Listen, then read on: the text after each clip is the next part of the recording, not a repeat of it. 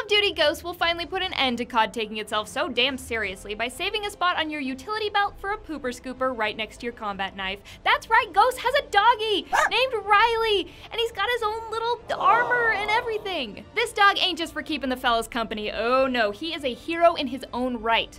And look, I haven't beat the game or anything, but I mean, he's probably gonna die.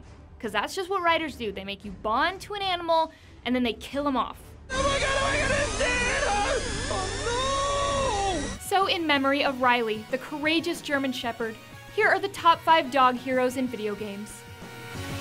Bless his brave furry soul. Number five, the Pomeranians from Tokyo Jungle. So I've already done top five canine companions, so this list is all about dogs who are the stars of the show, who don't need us humans always hanging around. And the Pomeranians from Tokyo Jungle are mean, ruthless little fluffballs. It's a post apocalyptic world where humans have been wiped out, so it's up to all the escaped pets to stay alive and, you know, eat each other. There are other dogs too, but the best one to play as is the Pomeranian. Why? Because they're adorable little purse pooches with bloodthirsty, show no mercy attitudes. Tearing the throats out of hyenas, taking down entire buffaloes, these ankle biters take no sh.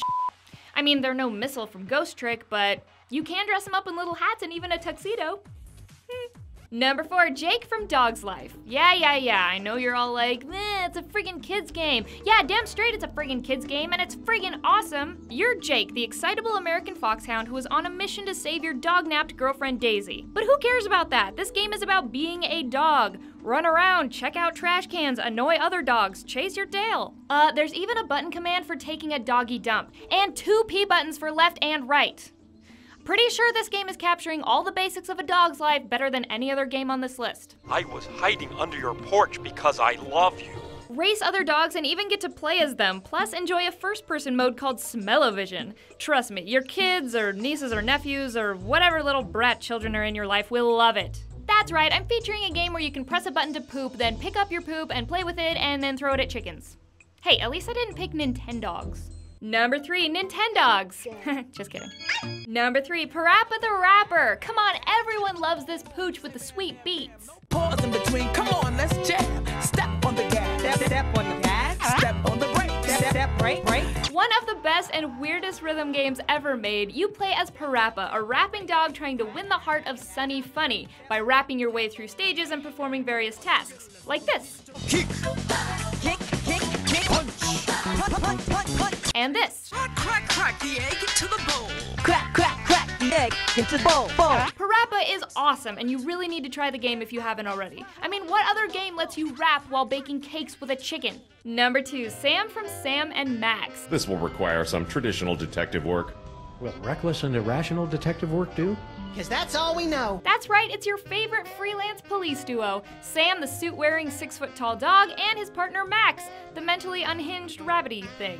These do gooders may spend just as much time breaking laws as they do catching criminals, but it all works out in the end. Sam is certainly the more level headed of the two, if you call not wearing shoes, stealing everything he sees, and hanging around with a deranged psycho rabbit level headed. He's well spoken and loves giving the occasional terminology filled speech, usually answered with a smartass remark from Max. From the comics to the Telltale episodics, Sam is one badass revolver wielding hero. Plus, he's even been known to try reasoning with giant robots. I don't suppose you'd care to stop tearing apart our building. And the number one dog hero in video games?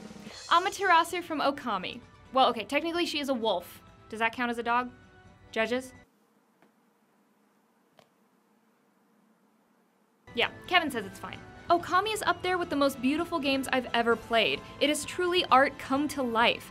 You play as Amaterasu, a sun goddess in the form of a wolf trying to expel evil from the land. You'll enjoy action, adventure, and puzzles in this gorgeous cel-shaded world as you utilize the ingenious celestial brush. The brush allows you to literally paint on screen to not only solve puzzles and slice through objects, but to attack as well.